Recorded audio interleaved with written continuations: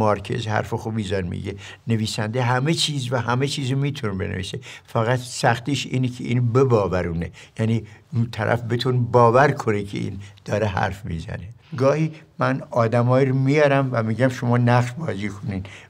هر کدوم بگیرین که من این موضوع و این حسی که دارم اینو بگم. یه وقت اینم یه حیوان کمه. این حیوان باشه چقدر خوبه. میرم یه حیوانم میارم اینجا. و این هست که حیوانات وارد داستان میشن.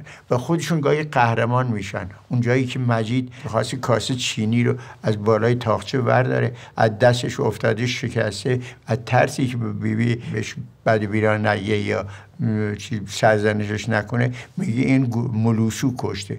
این کردم تو گونه می‌خواستم ببرم. تمام داستان راجع به این گربه